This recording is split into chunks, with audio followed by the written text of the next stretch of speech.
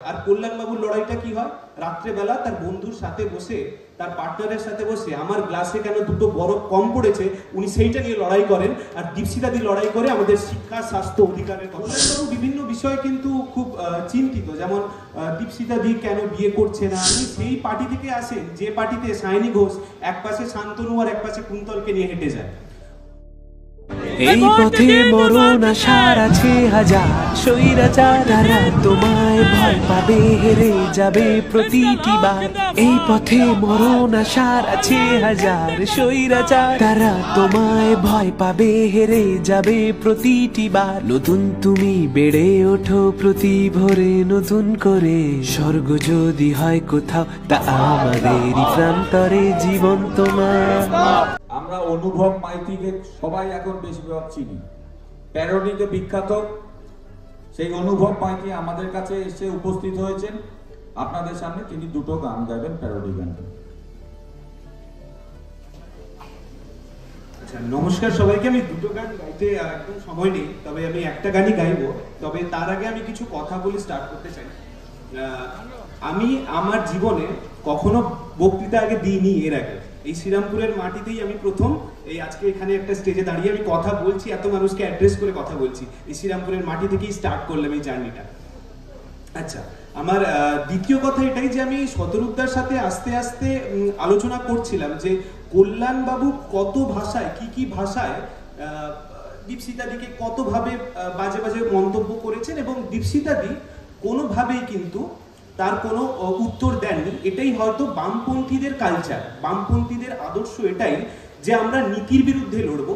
কল্যাণবাবুর কি নীতি আছে জানি না, যদি কিছু থেকে থাকে আমরা সেই নীতির বিরুদ্ধে লড়বো। আমরা ব্যক্তিগত কল্যাণবাবুর বিরুদ্ধে কিন্তু আমরা কোনো মন্তব্য করব না। কিন্তু আমার কোথাও না কোথাও মনে হয় এই সময়টা এখন একটু দাঁড়িয়ে কোথাও না কোথাও চেঞ্জ হয়ে গেছে। কারণ আমরা টিভি খুললেই যেভাবে দেখছি কল্যাণবাবু ব্যক্তিগতভাবে আক্রমণ করছে এবং আমাদের কমরেডকে আক্রমণ করছে, সেটা দেখে আমাদের খুব খারাপ লাগছে এবং কল্যাণবাবু বিভিন্ন বিষয়ে কিন্তু খুব চিন্তিত। যেমন দীপসিতা দি কেন বিয়ে করছে না, কিংবা কিছুদিন আগে অভিজিৎ গাঙ্গুলি যিনি বিজেপির এখন জয়েন করেছেন, তার বউ কেন তাকে ছেড়ে পালিয়ে গেছে, এই বিভিন্ন বিষয়ে তিনি খুব চিন্তিত। তবে স্বাভাবিক দীপসিতা দি কেন বিয়ে করছে না, এটা তার ভাবাটাই স্বাভাবিক, কারণ উনি সেই পার্টি থেকে আসেন, যে পার্টিতে সায়নী ঘোষ এক পাশে শান্তনু আর এক পাশে কুন্তলকে নিয়ে হেঁটে যায়।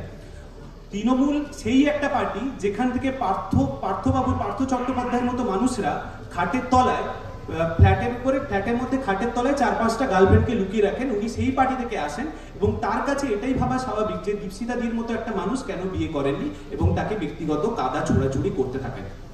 এবং আমি একটা গানের লাইন আপনাদের শোনাচ্ছি যে, এ গমকে অর চার দিন, সিতমকে অর চার দিন, এ দিন ভি যায়গে গুজর গুজর গে হাজার দিন। হাজার হাজার হাজার দিন আমরা আমরা পনেরো বছর একটা মানুষকে আমরা এখানে দাঁড় করিয়ে রাখলাম। আমাদের সত্যি করে যে উন্নয়ন, তৃণমূল উন্নয়নের কথা বলে, সে উন্নয়ন থেকে বেরিয়ে যে শিক্ষার ব্যাপার স্বাস্থ্যের ব্যাপার, যে দাবিগুলো আমরা রাখি, সেগুলো কিন্তু আমরা পনেরো বছর একটা মানুষকে সুযোগ দিয়েছি। যে মানুষ পনেরো বছরে কাজ করতে পারেনি, আমার বিশ্বাস, তাকে দেড়শো বছর দিলেও সে কাজ করতে পারবে না। এবং তাই আমার রিকোয়েস্ট আপনারা আগামী কুড়ি তারিখ দীপশিতা দিকে সেই সুযোগটা দিন। দেখুন, আপনারা পনেরোটা বছর একটা মানুষের পিছনে দিয়েছেন, আর পাঁচটা বছর চাইছি। পাঁচটা বছর এমন একজন মানুষকে দিন, যিনি কলকাতা রাজপথে লড়াই করেছেন, যিনি শ্রীরামপুরের রাস্তায় থেকেছেন, যিনি জেএনইউর মাটিতেও দাঁড়িয়ে লড়াই করেছেন দীপশিতাদের লড়াইটা এই ঘরানার মধ্যে হয়। আর কল্যাণবাবুর লড়াইটা কি হয়? রাত্রেবেলা তার বন্ধুর সাথে বসে, তার পার্টনারের সাথে বসে, আমার গ্লাসে কেন দুটো বরফ কম পড়েছে, উনি সেইটা নিয়ে লড়াই করেন। আর দীপশিতাদি লড়াই করে আমাদের শিক্ষা, স্বাস্থ্য অধিকারের কথা বলার জন্য। আমি যেহেতু এখানে অ্যাজ আ প্যারোডি সিঙ্গার হিসেবে এসেছি, এখানে একটা গান না করে গেলে ভীষণ অন্যায় হবে। এবং আমার সামনেই দাঁড়িয়ে আছে আমার বন্ধু রনা তো আমি চাইব ও একটু আসুক, আমাকে সাহায্য করুক। এবং এখানে আমি আমার গান নয় এখানে সৃজন ভট্টাচার্যের একটা গান আমরা দুজন গেয়ে শোনাতে চাই। ধন্যবাদ সবাই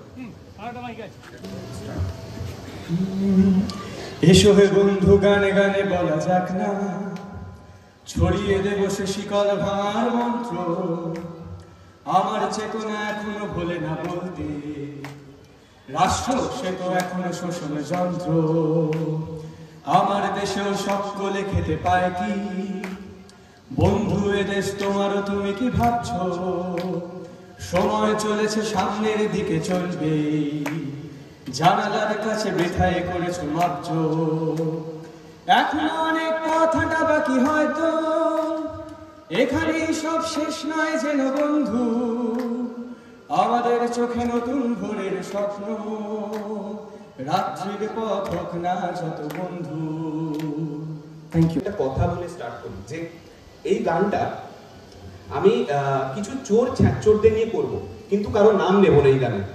এবারে যদি কোনো চোর ছ্যাচোররা মনে করেন তাদের গায়ে লেগেছে এবং আমার নামে কেস করে, তাহলে মানতে হবে এই গানটা ওদের জন্য লেখা এবং চোর ছ্যাচোরটা উনি।